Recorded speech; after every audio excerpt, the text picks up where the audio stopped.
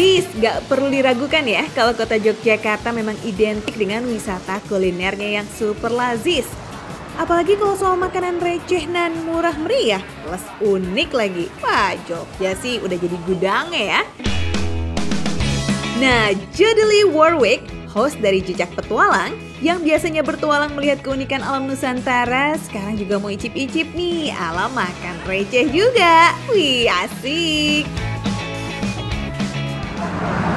Kalau biasanya saya traveling bareng Jejak Petualang, kali ini di episode spesial Food Transmedia saya mau mengajak foodies buat kulineran di Jogja. Tapi yang paling penting tetap jaga protokol kesehatan ya. Yuk ikutin aku. Nah ini dia warung makan Ika Terkenal sebagai warung spesialis sajian di hot plate dengan harga receh alias murah foodies Kalau biasanya olahan makanan dengan hot plate itu harganya lumayan ya Berbeda nih dengan warung Ika di Jogja Di sini dijamin receh deh Nah foodies, aneka menu ayam, udang, cumi, tahu, mie, dan olahan sayur dibanderol gak pakai mahal cuma di kisaran 10.000 sampai 20.000 aja. Wih, wih, wih, receh ya. Eits, tapi kalau soal rasa berani diadu dong pastinya dengan resto-resto. Lihat aja tuh dari pengunjungnya, rame banget ya. Pelanggan utamanya siapa lagi kalau bukan para pelajar dan mahasiswa yang mencari sensasi makan berbeda. Tapi sensitif ya soal harga dan rasa.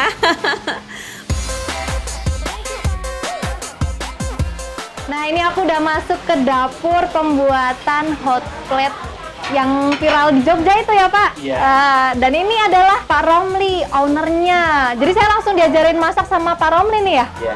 Wow mantap. yuk Pak langsung masak aja yuk. Mari. Kita memasak menu yang paling spesial di sini, hot Iya. plate seafood ya Pak? Seafood.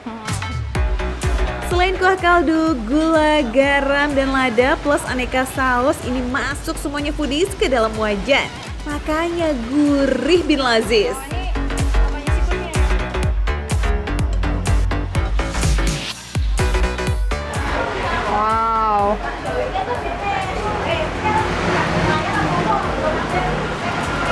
Jadi waktu kondisi masih panas harus langsung dicampur sama mentega supaya menteganya bisa langsung cair. Ini cukup satu sendok aja ya menteganya pak. Hmm. Udah terakhir dikasih sayurannya. Ini kenapa sayurannya terakhir supaya nggak layu. Jadi waktu dimakan tuh masih kraus-kraus. Ini nih bagian yang paling menarik. Kita taruh seafoodnya ke hot plate yang udah dipanaskan. Yuk pak. Ini dia nih foodies, kenapa namanya warung makan Ika spesialis hot plate. Oh berat banget nih. Nah, langsung tuang ya pak. Oke.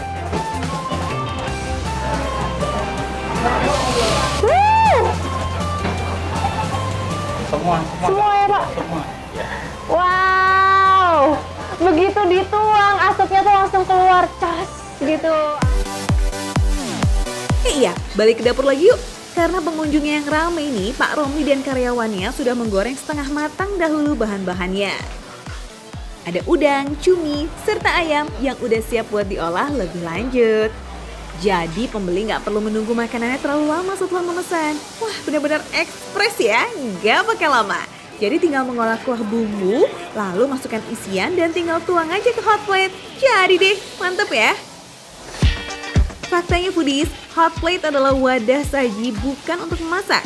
Jadi setelah dipanaskan di atas api, piringan besi ini bisa menjaga makanan seperti steak ataupun tumisan jadi tetap dalam suhu yang panas. Wah pesanannya Jodili udah jadi tuh. Wih asapnya heboh ya. Jody sampai menghilang tuh nggak kelihatan. Mantap. Wow, ternyata porsinya tuh banyak banget. Dan yang menarik lagi, harganya satu porsi gini cuma 15.000 aja. Ini bisa buat makan berdua nih. Jadi satu orang cukup bayar 7.500. Udah kenyang deh. Yuk, langsung icipin aja.